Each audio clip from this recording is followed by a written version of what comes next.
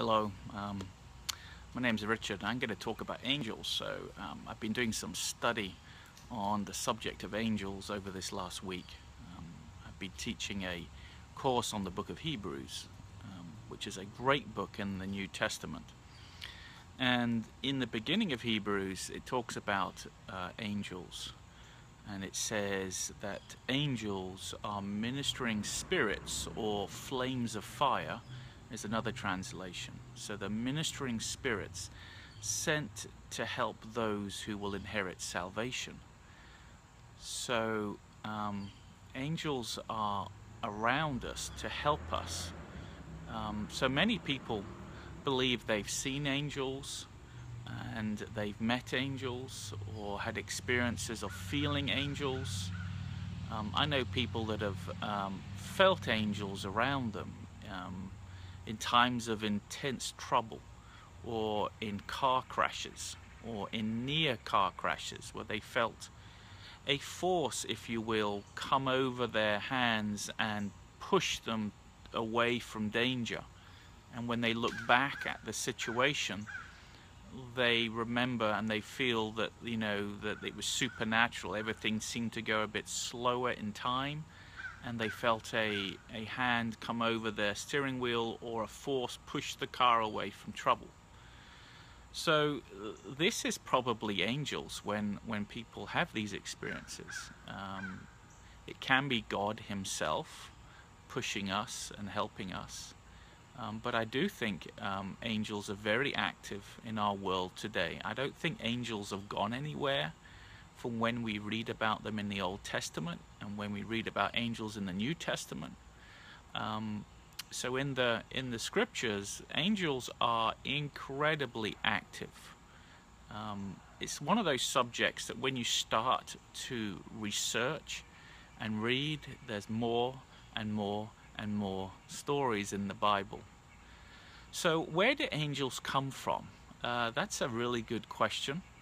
I think if we go back to Genesis 1, uh, the word says, In the beginning, God created the heavens and the universe. So I think that's where angels were created. They are created beings, they are creating spirits. Um, they have angelic bodies because every now and then people see them, and the people in the Bible saw them too. Um, and they talk about, you know, a man standing there and, and his face was like lightning. Um, so very often people who see angels get very scared. I mean, it's, it's supernatural. It's something outside of the realm of normality or visual normality. I think because we have human spirits, that's a part of me, that's a spirit, uh, it's human spirit. I think we pick up things spiritually, and so we can sense spiritual things. So they do seem to have bodies because if we look at, say, Mary, uh, who met the angel Gabriel, um, you know, she was, you know, taken aback and, and fearful. Um, and most people, when they meet an angel in the Bible, they are terrified. Um, there's there's a story of Daniel who meets an angel and he's the only one that sees the angel but everyone around him is filled with a terror.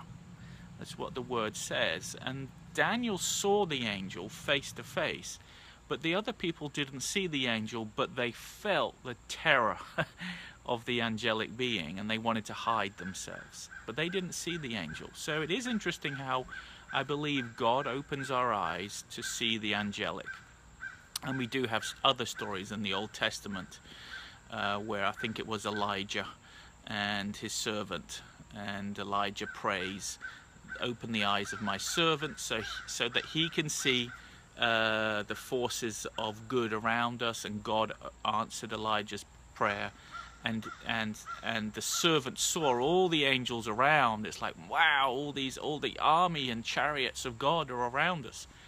Um, so every now and then God does allow people to see angels. Personally, I feel that um, we sense angels a lot more than we see them.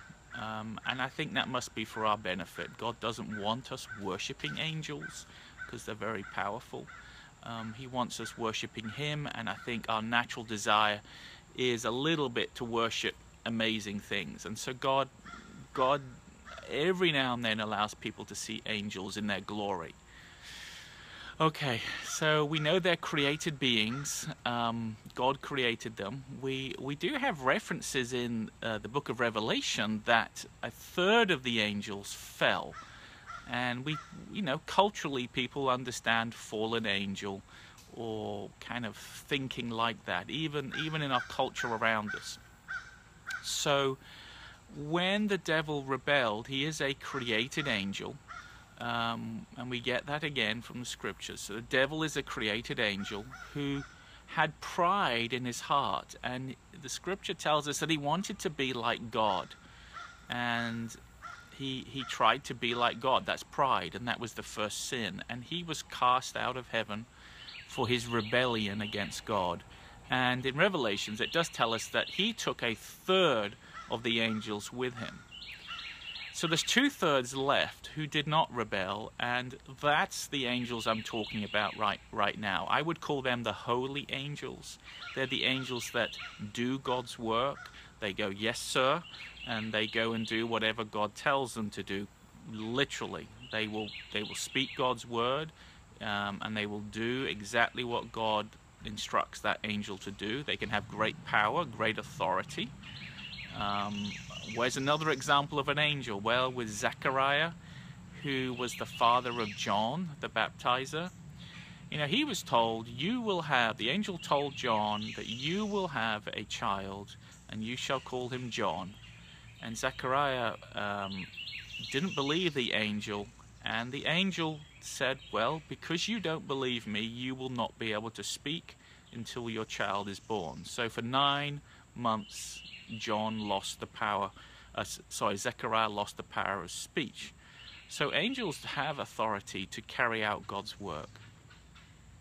And I'll finish with one last story on angels. And, uh, you know, if you come to my Bible study on Sunday night, this Sunday, um, and I'll put the details in the comments about the Bible study. We will be teaching, I'll be teaching on angels, and we will be looking at angels. Maybe you can bring a story of angels in your life.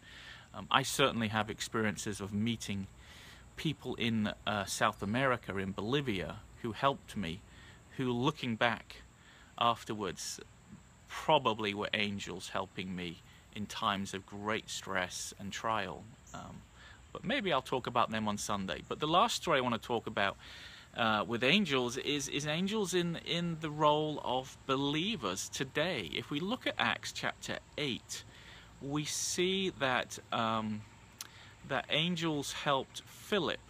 Um, I think it's Philip. Let me get my story right. Yes, Philip. An angel calls Philip to go and preach to a eunuch uh, in Africa or, or, on his way to Africa. And uh, Billy Graham, in his book about angels, makes a very good point, and that is that he surmises that angels don't usually teach the gospel or preach the good news. That's up to mankind to do that.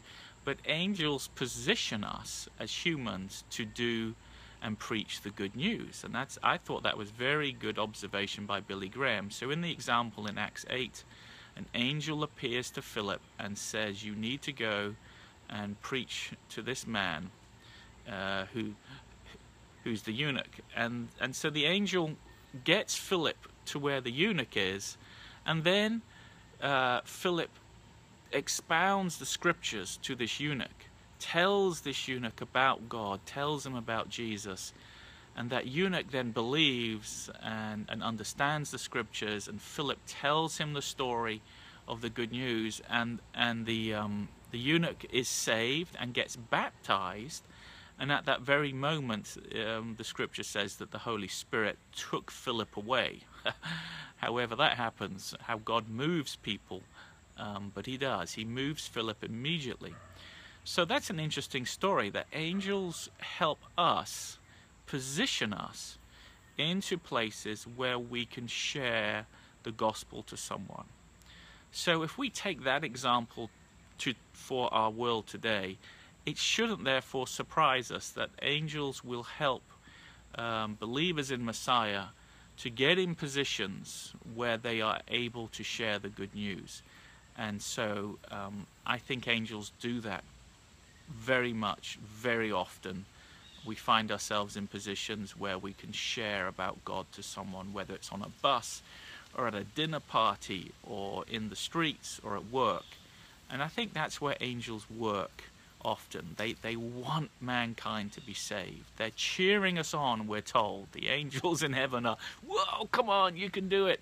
Um, so we get glimpses. So that's probably enough little teaching for, for a Facebook thing. So, you know, come and join me, Richard Martin, uh, this Sunday. What is it? September the 17th, I believe, at Restoration Community Church here in Raleigh. And we will have an hour plus talking about angels. Bring your story about angels, and we'll share some stories on on our experiences of angels, and and possibly demons, um, the opposite to angels, the fallen angels. But we will we will turn our eyes to our risen Lord Jesus Christ and look to Him um, for answers to this amazing subject of angels. So come and join me this Sunday.